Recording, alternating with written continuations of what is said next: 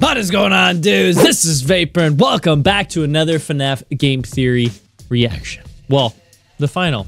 This is it. After 66 episodes. 66! I believe we've reacted to pretty much all 66, maybe except for one or two, but we're here. This is Game Theory FNAF thanks for the memories. This has been quite the series on this channel, let alone on his channel. It's got over 2.4 million views in the last 20 hours. I've been kind of neglecting reacting to it because I'm just so sad. I don't know why I'm so sad. I'm a grown-ass man. They ask you how you are, you just have to say that you're fine when you're not really fine, but you just can't get into it because they would never understand. So without further ado, guys, everything will be linked in the description down below so you can check it all out for yourself. Please go subscribe to the Game Theorists. There's gonna be more stuff, I believe. Just That's just it. This is the finale. So make sure you slap the like button. Come on, quick play on this bad boy. In three, two, one.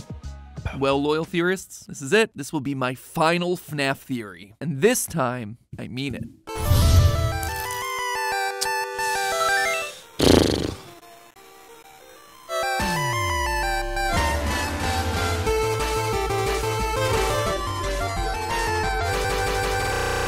The end is nearly at hand. The pieces are in place for you. You missed it last week. Look for the green. And remember everything I taught you. Remember, dates are important. Remember the...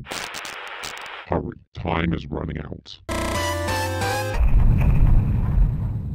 Hello, Internet! Huh? Welcome to Game Theory, the Two. show that, by my count, has had no less than 10 final FNAF theories. At this point, it's practically become its own meme, but this time, it's no joke. After 66 theories, 3 live talkbacks, and 1 bangin' remix, Exotic butters. make that Hey. bangin' remixes. What?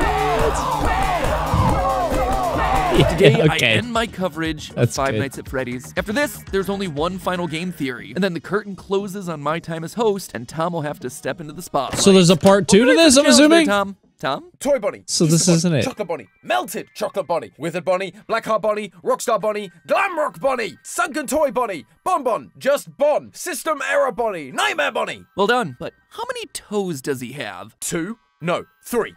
Five? Again. Ah, the first step of FNAF theorizing. Slowly losing your mind. I think he's gonna do just fine. You know, I did consider making my final theory about FNAF, but I actually have something really special planned for that one. So special, in fact, that we're gonna be doing a premiere for it on this channel next Saturday. I thought it was- 9th at 2 I thought this Eastern, was 11 it. a.m. Pacific. We're gonna Okay, have some so fun. there's- You guys will be able to there's chat more. with me live as that video releases. And who knows, there might even be some secrets to find. And most importantly of all, I get to say my final goodbye and thank you to all of you for the last 13 years. So that's next week, March 9th Oh, yeah, at 2 he's- p.m. Eastern, he's- 11 he's a.m. Pacific. Make sure you're subscribed so you're notified when that one goes live. Speaking of March 9th, just a quick reminder that that's also the final day of sales for my Youtooz. Once I retire as host on the 9th of March, it too will retire and be gone forever. So I love the billboard of it. little The piece of game theory history, Music or you know, Man. little psychic friend on Galore.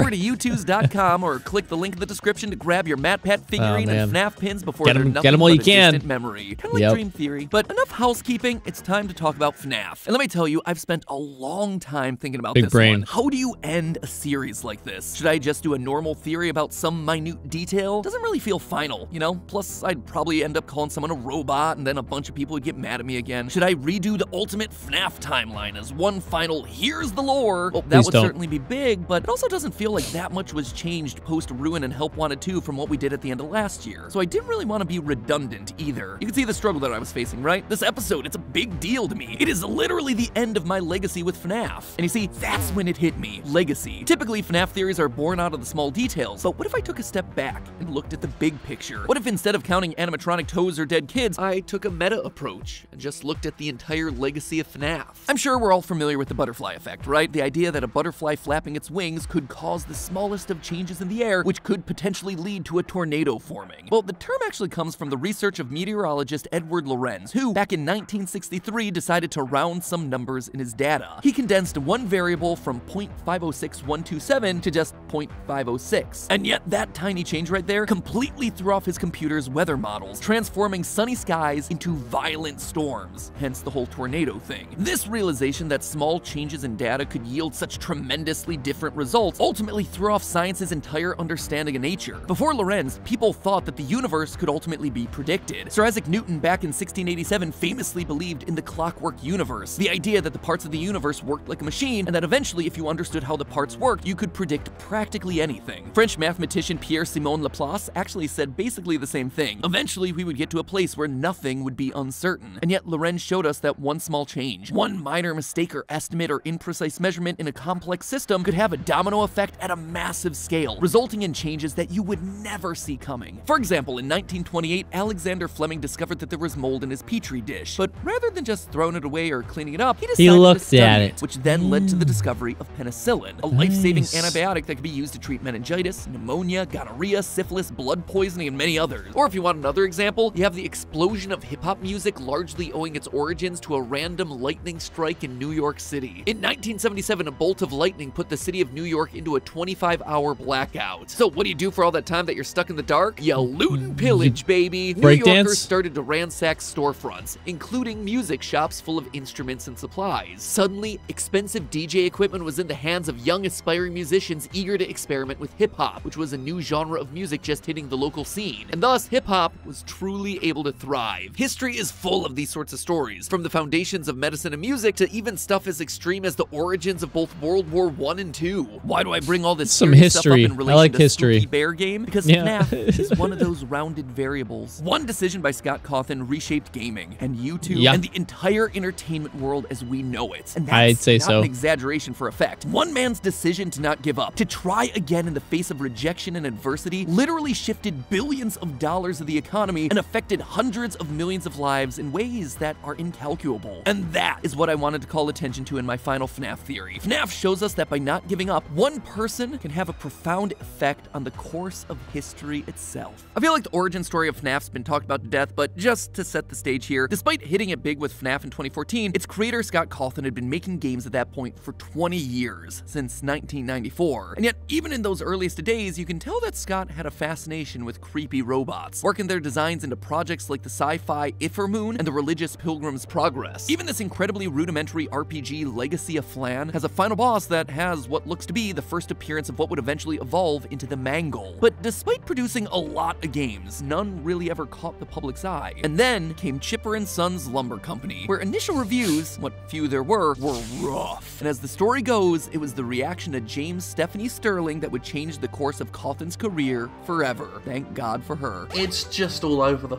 place, and that thing looks like it's gonna kill your children. I imagine the phrase kill me is stated over and over again in the world of Chipper and Sons. Oh, they're robot beavers. That's not good. I think he's the only living thing in this world. This repeated criticism, plus the lack of financial stability, brought Scott down to his lowest. Ready to quit games, he decided to try one final time and lean into the thing that had been leveled at him time and time again the creepy robotic animations. And thus, Five Nights at Freddy's was born. And that right there, that's gonna act as our nexus point the one flap of a butterfly wing, the decision to make a final game instead of just giving up. Now, let's see how it all maps out from there. Let's start with just the obvious downstream effects of this. That one game, over the course of the last decade, has spun off into 12, which honestly, I've never truly sat down and processed. But believe it or not, Pretty there nuts. are 12 of these things, depending Yeah. on how you count them. The entire franchise has sold 9.9 million copies on Steam alone, which in total has an estimated revenue of $94 million. And that's not even including the console and mobile ports or the number of microtransactions for FNAF AR, which itself had over 40 million downloads. It's also worth pointing out that of the $94 million,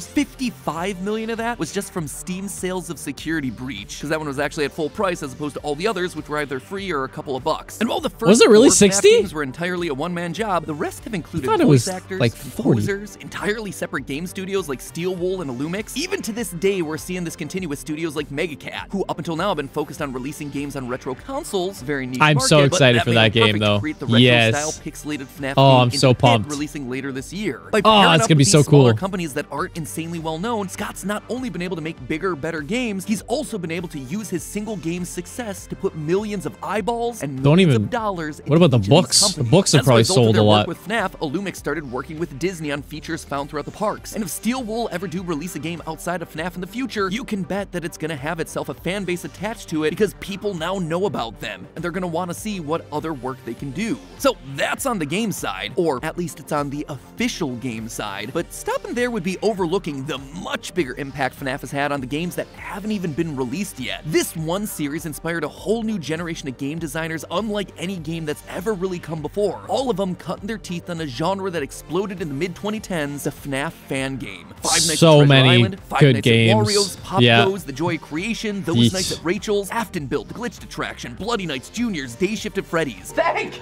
thanks.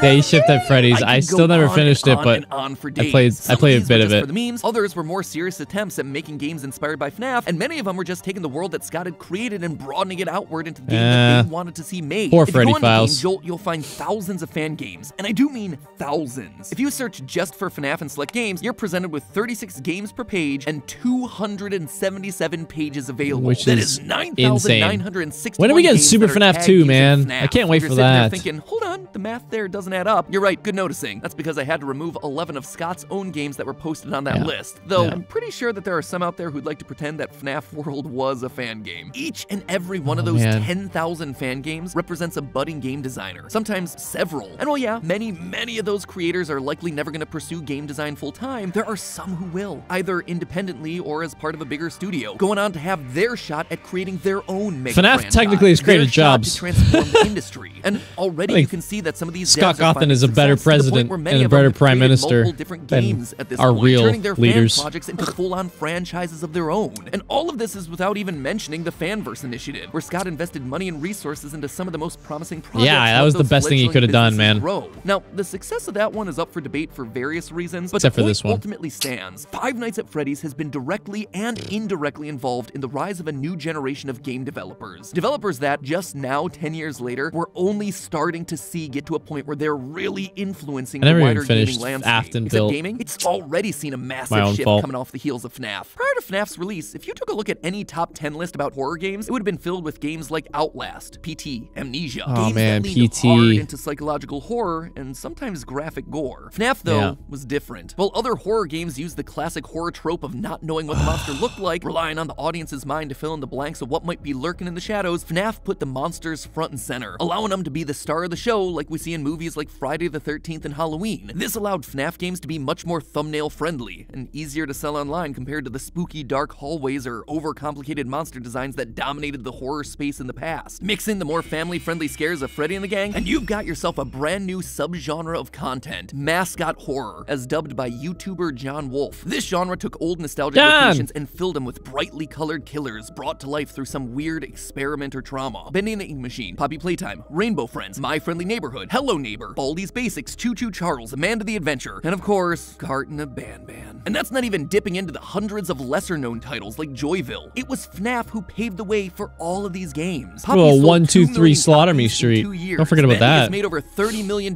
just off of its two major installments. Hello Neighbor is a thing that continues to exist. And while people complain about oversaturation in the market at this point, there is no denying that the formula has worked extremely well for the better part of the last 10 years. But Oh, man, I of still have yet to You play Duck Season book? Well, VR. I hope you're excited to read the seven Hello Neighbor books, five Bendy books, or the Poppy Playtime Employee Handbook that's coming out later this year. Mascot horror Did not know about franchises now also line the shelves of your local Barnes & Noble. Why? Because FNAF did it first. Oh sure, Uh-huh. Scholastic had done some video game book publishing in the past, mostly guidebooks and activity books, but after the success of the FNAF trilogy, they began to publish other video I game still gotta like read the Assassin's other two. Creed Last Descendants, World of Warcraft Traveler. This led them to launch an entirely separate wing to their business, AFK, the video game specific book department. It's these guys who are publishing all the books that Tom is now gonna have to read. Uh. No, it's impossible Sorry, to know for certain that Love FNAF was you. the reason for all this, but given it was often shown at the top of articles for this new publishing arm at launch and has sold 9 million books to date, with an average book price being about 10 bucks, that is 90 million dollars infused into the historically Pretty crazy. struggling print publishing business. Pretty crazy. No wonder the first six rows of their website are dedicated to FNAF. But without AFK, it's easy to imagine a world where these other I mascot got horror so games many books to read, man. chance. Holy. And all those writers who Maybe I'll read them to my son in the future. These He'll love 'em. franchises wouldn't be recognized like they are. I mean, take for instance Andrea Waggener, who wrote the vast majority of Fazbear Frights and Tales from the Pizzaplex stories. She's now getting DM'd by fans asking for lore clarifications, something I'm sure she never anticipated while working on her past writing projects, like her dog how-to book, Dog Parenting, or Alternate Beauty, the story of a big girl with big dreams. Her words, not mine. The same thing is now happening with another struggling industry, movies. After spending eight eight years in production hell, losing FNAF directors, movie. struggling with studios, and trying Yeah. to nail down a script, Blumhouse eventually took the chance on FNAF, making the movie on a $20 million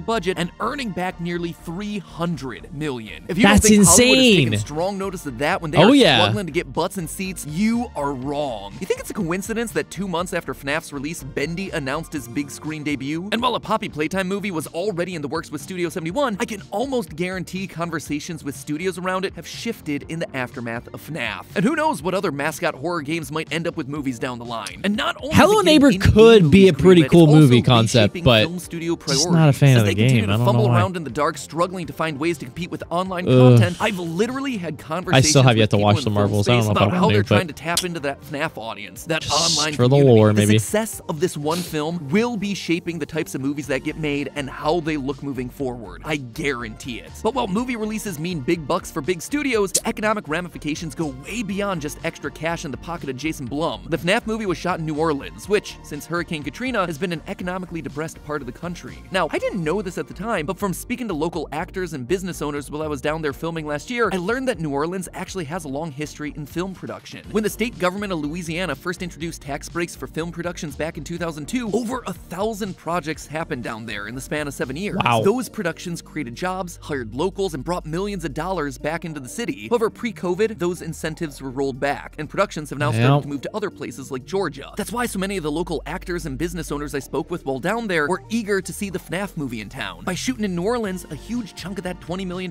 budget was going to accommodations, drivers, caterers, local talent, location rentals, equipment, and other general resources that help local businesses thrive, and maybe start a domino effect to get other movies back in the region. Regardless of all of that, the point is that this one decision to try one final game, it's grown beyond itself. It's no longer about just making its own franchise full of games. It's spread to all corners of the media industry and to so many Seriously, other IPs though. and creators, spawning a wave of new franchises and giving It's life to so many created draw- yeah, created had a chance. jobs. But speaking of careers, there's one final area that's also needing to be addressed. An area that has been so affected by FNAF, it's crazy to not talk YouTube? about. And that, of course, is here on YouTube. Yeah. FNAF has done a lot of numbers for a lot of industries, but its effect on the YouTube landscape is still visible to this day, and in a much more obvious way. When FNAF first launched, it was just one of many games that YouTubers started playing because spooky games got big views. This game gave That rise to some has of not biggest names on the changed. Names that are still going strong today. Let's players like CoryxKenshin and Markiplier, Markiplier, who've been on yeah. YouTube for a couple of years, but saw their careers accelerate in parallel alongside the FNAF releases. You also had a massive surge in nerdcore musical artists like The Living Tombstone, whose FNAF song was at a million views in a couple of weeks, whereas most other songs they would release would have a few hundred thousand views months after release. And machinima Yeah. creators started using FNAF models and characters to tell their own JT unique stories long before the FNAF movie ever hit theaters, racking up literally billions of views. But what truly set FNAF apart were obviously the hidden details cluing fans into the bigger story. This, more than anything else, ignited the internet's passion like never before, giving rise to the theorist community. People Mm-hmm. like Dawko, Rezbowski, 8-Bit Ryan, Rytoast, ID's Fantasy, Hyperdroid, John FNAF, and of course, us, going through this game piece by piece in order to find the hidden story within it. I Now, remember- popular belief, what was it, 8-Bit wasn't The first thing that actually had us creating lore theories. That They had that channel just part of the together? channel's DNA. But before FNAF, we were coming up with lore theories for franchises where the story was basically well known. Whether or not Majora's Mask is an allegory for grieving, you get the story of a moon crashing down. Regardless of whether Peach is Rosalina's mom, you get the basic premise of Mario Galaxy. Humans certainly might be Pokemon, that's not really affecting anyone's journey to become a league champ. But FNAF was different. it showed that games could be built off of withholding the lore and forcing the fanbase to solve it. By leaving the door open and never confirming anything, Scott You ever seen the show YouTubers, Lost? Redditors, and just It's general good- fans to continually assess and reassess good landmark for that. find new directions, new hot takes, and that means that we're still theorizing about it to this very day. Can it be frustrating? Absolutely. Heck, maybe now that I'm retiring from the channel, I can track Scott down and get some answers out of it. But it's also entertaining, and the success of this theory-based model on YouTube has carried over into the mainstream, where now almost every game and movie release is designed with theory crafting in mind. While it's impossible to calculate New rock stars with the Marvel YouTube, movies? Hell yeah, that there man. are 106 videos with more than 10 million views each. Together, they total roughly 5.4 billion views on just their very own. And if we assume that they're getting the standard gaming CPM on YouTube, which is about $4.55, that then's a total earning across all of those videos of $24,570,000 in ad revenue. Markiplier's literally gone on record to say that the house that he lives in is the house that FNAF paid for. And he's joked on his Distractable podcast about how lucrative FNAF's been for him. Let's go into a fan favorite here. Five Nights at Freddy's. Boo. So there's two ways I could look at this, right? I could look at it from the game purely totally by itself. I think I've could look actually listened to this exact podcast, It is like, this out episode. for me specifically.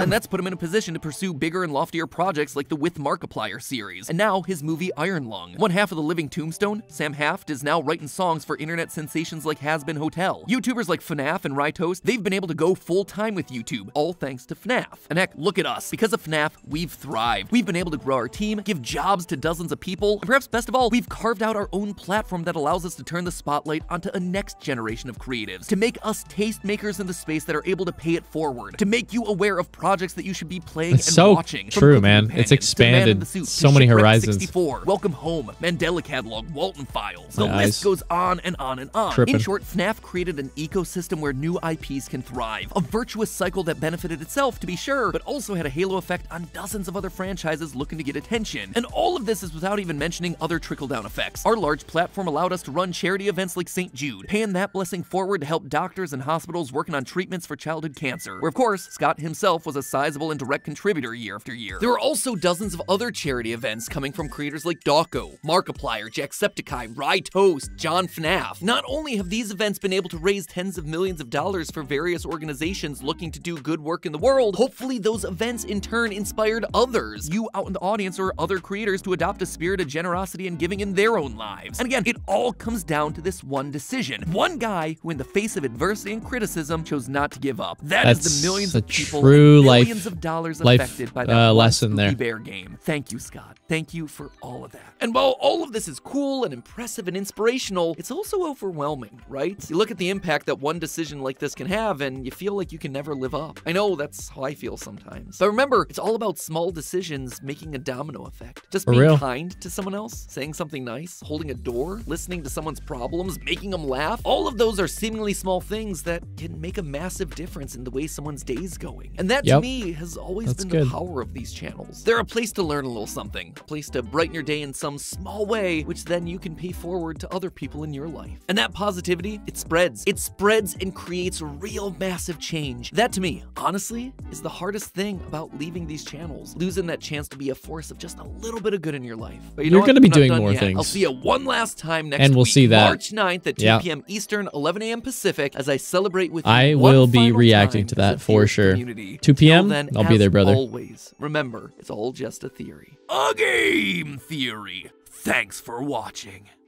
Love it, man. Oh.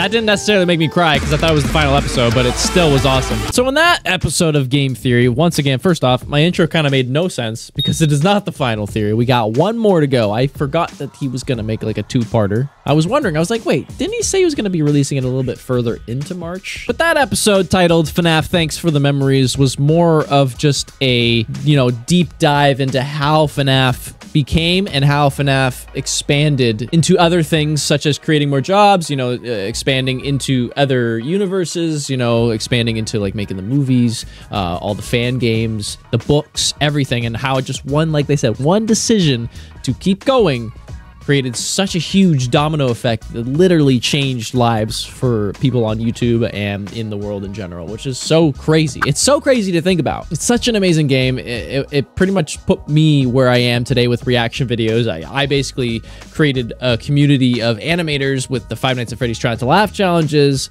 Uh, I created a whole hashtag that like 7,000 channels or 7,000 videos. It's one of those two to upload their animation to be featured into my series, which I've like made many of those compilation videos. And I think the playlist alone almost has 2 million views, which is insane to me. I may not be doing as well as I did back in the day, but I definitely created something out of it. And it's awesome. And I still can't thank each and every one of you for it. But guys, that was my reaction to not the final, but the second. This is the semi-final game theory for FNAF from the game theories. This one was titled FNAF Thanks for the Memories. Hope you enjoyed. Let me know what you guys think in the comment section below and what part uh, really kind of impacted you with FNAF uh, in your life and I guess in this video. And everything will be linked in the description down below so you can check everything out for yourself. Obviously, go subscribe to the Game Theorist. Put the bell notification on so you can get notified for when that video comes out, even though we do have a time and date, March 9th at 2 p.m. EST. So be there. Make sure you go subscribe to my other YouTube channels, Vapor Reacts, where I react to things that don't pertain to FNAF, and also Vapor TG, where I play FPS games such as Overwatch, Rust, maybe Valorant. Some other games will be coming on there in the future. Also, go follow me on Twitter at the real VTG. It's the other social media platform that I use the most. So if you want to come in contact with me or tag me in something, I'll be sure to see it. So like it if you enjoyed, subscribe for some more videos, and I'll see you in the next one. So bye.